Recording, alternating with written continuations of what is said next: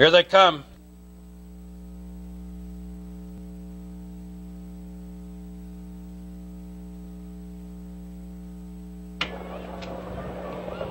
They're often pacing on the inside. Tough Eyes left well in between horses. Denali's Frost came away. Driving up on the outside, Mantis third and fourth. Alberton Fair settling in fifth. Favorite Society, Wolf's Echo at the end. They move on to the backstretch and approach the opening quarter. From the outside, here's Mantis up to take the lead. It's Mantis, the leader, racing in second. Tough Eyes, Denali's Frost is third. Alberton Fair racing fourth and fifth. Favorite Society, Wolf's Echo at the end.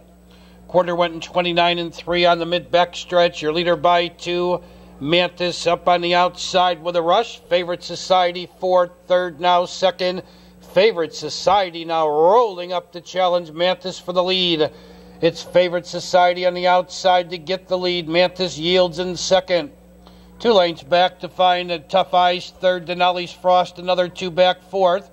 Alberton Fair is fifth and still trailing the field. Wolf's Echo. They went by the half in 57 and 2, less than a half mile the pace in the race. Mantis says, I want the lead back, and Mantis moves up to reclaim the lead.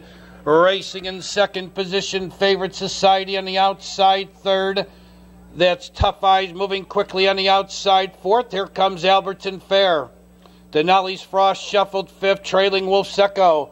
They've reached the top of the stretch, and your leader, Mantis, Favorite Society comes right back out for the drive. Second, Alberton Fair into contention. Third, Tough Eyes towards the inside. Fourth, racing in fifth. Denali's Frost and Wolf Echo. Coming to the eighth pole on the inside with a short lead. Mantis, Favorite Society hanging alongside second. Tough Eyes ducks to the open stretch. Denali's Frost is closing on the grandstand side, but Mantis has enough left in the tank to win this one. He's going to hold on to win it.